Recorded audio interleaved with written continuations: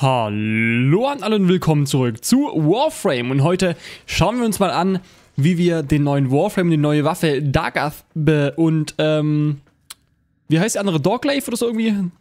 Ich weiß gerade den genauen Namen nicht, aber das sehen wir gleich, wie wir die bekommen können. Ähm, die sind nämlich in einem Update am 18. Oktober getroppt.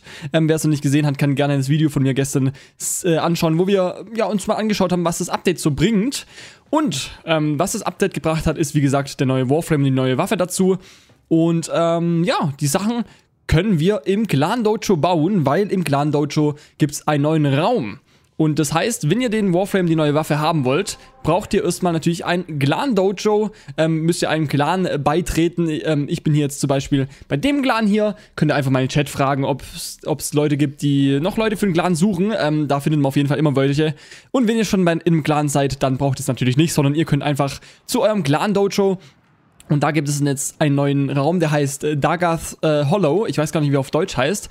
Den muss der Clan muss mal bauen. Äh, mein Clan, in dem ich gerade drin bin, war so krass, dass er einfach am 18. Oktober, als das Update getroppt wurde, einfach schon gefühlt keine Stunde später schon gebaut wurde und mit Platin gerusht. Also richtig, richtig krass. Und wir sehen hier Dagas Grypta heißt der Raum hier auf Deutsch anscheinend. Und wenn wir da hingehen, dann sehen wir hier, sind wir hier in dem Raum, der richtig, finde ich, richtig, richtig cool aussieht. Also wenn man hier so reinkommt, richtig, richtig geil.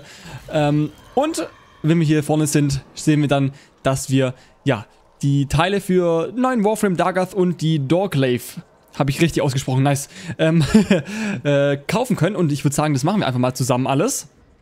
Kostet 15.000 die Blaupause, äh, 15.000 dann auch Neuropt äh, Chassis, Neuroptik up, und Systeme auch. Dann haben wir die Doorclave, die kostet wahrscheinlich auch 15. Ähm, Mastery Rank 8 braucht ihr dafür. Okay, wusste ich jetzt auch nicht. Auch gut zu wissen.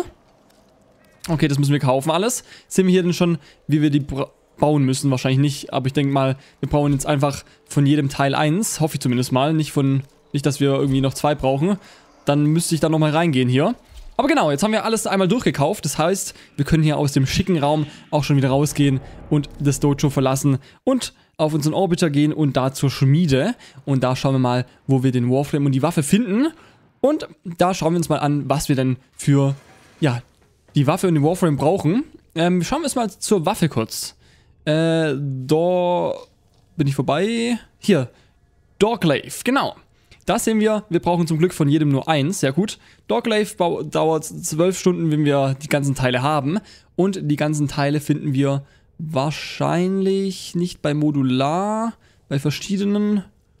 Bei verschiedenen, genau, perfekt. Und wie wir hier sehen, brauchen wir für die ähm, Teile und wenn wir auch mal zum Warframe gehen, zu Dagath bei D, brauchen wir auch für die ganzen Teile ähm, äh, Edeldornen oder auf Englisch heißen die Wayne Thorns. Ähm, für den Warframe brauchen wir insgesamt 102 Wayne, Wayne Thorns. Mann, schweres Wort, Edeldorn. genau. Und wie wir die farmen, das schauen wir uns mal jetzt gemeinsam an. Da brauchen wir nämlich ein Syndikat, egal was für eins. Ähm, und wir müssen bei dem Syndikat, ähm, ich habe es hier gerade zum Beispiel Steel Meridian ausgewählt, müssen wir Rang 2 sein. Ich bin jetzt gerade aktuell schon Rang 5. Ähm, ihr müsst aber Rang 2 sein und dann können wir uns für 5000 Standing können wir uns hier das ähm, Abyssal Beacons auf Englisch oder Aby Abyssales Signal auf Deutsch kaufen. Und das kaufen wir mal. Und das eröffnet uns eine ja, Mission auf Ceres. Eine Exterminate-Mission. Und zwar nicht irgendeine Exterminate-Mission, sondern eine bestimmte. Und zwar eine ähm, ja, Abyss abyssale Zone auf Deutsch, Abyssal Zone wahrscheinlich auf Englisch, ähm, ist eine Auslöschungsmission, wo wir aber noch was, ja, die den kleinen Twist hat, also keine normale Exterminate. Und, ähm, genau, wir gehen da mal zusammen rein. Ähm, wie gesagt, wenn ihr die, ähm, starten wollt, müsst ihr eben für die 5000 Standing bei, eurem Sta äh, bei euren Syndikaten die, ja, das Signal, das, den Beacon kaufen und jedes Mal, wenn ihr da reingeht, müsst ihr einen neuen kaufen, wenn ich es richtig verstanden habe. Wenn ihr aber in eine Lobby reingeht, also mit, Kumpel, mit Kumpels oder so, mit Freunden, wenn ihr eine ähm, Lobby seid, die, ihr, ja, die schon fest ist, bevor ihr in die Mission reingeht, dann verbraucht ihr nur ein Beacon von demjenigen, der die Lobby sozusagen aufgemacht hat. Aber genau, wir gehen hier alleine rein. Und wir müssen jetzt ähm, Orokin, ein Orokin Defixio sozusagen suchen. Ähm, das zeige ich euch gleich oder sehen wir gleich mal zusammen, wie das funktioniert. Und das müssen wir dann, dieses Defixio müssen wir dann zum Ausgang bringen.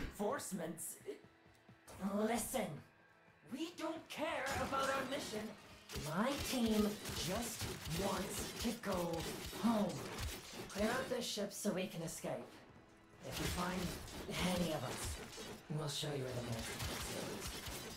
We want nothing to do with those cursed things. Okay, ja. The Defixios are coveted because of their power. I cannot predict their effects on you or your warfare. Genau, wurde hier jetzt schon schön beschrieben. Wir müssen es sozusagen die Leute hier finden, ähm, dann das Defixio äh, suchen und ähm, ja, das Defixio müssen wir dann zum Ausgang bringen ähm, und jede Person in dem Squad, wenn man also zu mehr spielt, muss ein Defixio zum Ausgang bringen. Also wenn ihr zu viert seid, muss auch jeder von den vier Spielern ein Defixio bringen, beziehungsweise am Ende müsst ihr vier haben. Also eine Person kann auch ähm, zwei Defixio bringen und die eine dann dafür zum Beispiel nichts. Genau, das funktioniert auch. Ähm, aber es ist nicht so einfach, die Defixios zum Ausgang zu bringen, denn die Defixios haben sowas wie die Dragon Keys. Ähm, ja, geben euch einen schlechten Effekt, wenn man so will. So, wir haben jetzt hier den Probekandidaten oder Probe Probekandidatin. Und jetzt müssen wir hier in diesem Bereich nach diesem Defixio suchen. Und ich vermute mal, dass es hier auf der anderen Seite irgendwo ist. Es macht eigentlich auch einen Sound.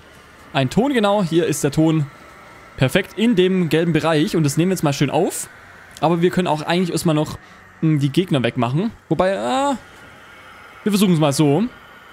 Wir nehmen das Defixio, deine Energie nimmt stetig ab. Ist es hier die, ja, das, was, was das Defixio mit uns macht.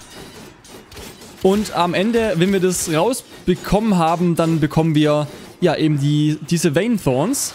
Ähm, je mehr, äh, je mehr, nee, was soll ich sagen? Ich glaube, es sind so sechs oder acht, ich weiß gar nicht genau die genauen Zahlen. Aber wir können auch die Mission theoretisch im Steel Pass spielen. Und da bekommen wir dann ähm, am Ende mehr Vein Thorns raus. Also es gibt so drei Zahlen. Ist, lass, ich lass mich lügen, sind vielleicht 4, 6 und 8 können wir rausbekommen. Und äh, im Steel Path sind dann 6, 8 und 10. Äh, und 10. Ich glaube, es, ist nicht, es sind keine geraden Zahlen. Irgendwas ist mit 11 und so bei Steel Path, wenn ich das richtig gelesen habe. Also es macht äh, theoretisch mehr Sinn, das im Steel Path zu spielen, weil ihr dann am Ende mehr rausbekommt. Aber natürlich ist die Mission auch um einiges schwieriger, vor allem wenn ihr hier die äh, ja, den Einfluss hier von den äh, Defixios habt, die wie jetzt hier in dem Fall bei uns zum Beispiel, ähm, ja, machen, dass die Energie einfach langsam nachnimmt, nach, nachlässt. Und da gibt es ganz viele ähm, Effekte, die ihr dadurch bekommen könnt.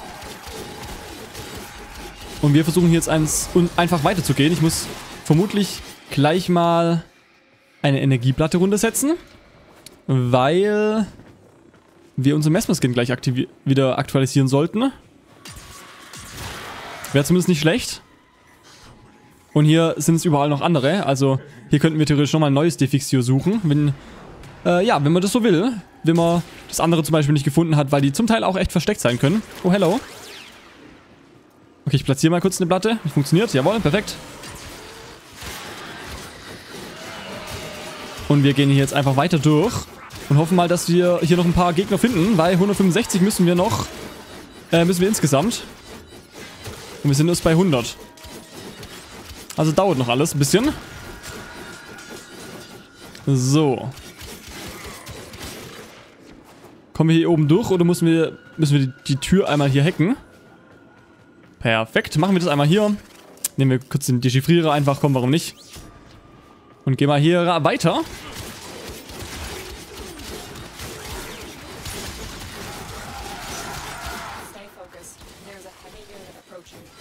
Heavy Unit approaching. Okay, müssen wir vorsichtig sein.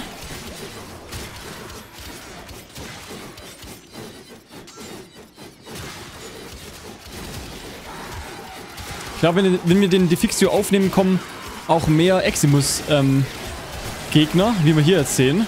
Ich weiß nicht, ob es dann, ob irgendwann nur noch ähm, Eximus spawnen oder ob das nur, ob die einfach nur vermehrt sind. Das weiß ich jetzt gerade nicht genau. Aber wir haben es jetzt zum Glück auch bald schon geschafft. Was sehr, sehr cool ist. Leider hätten wir gerade genug Energie gehabt, aber hab zu spät geschalten. Ne?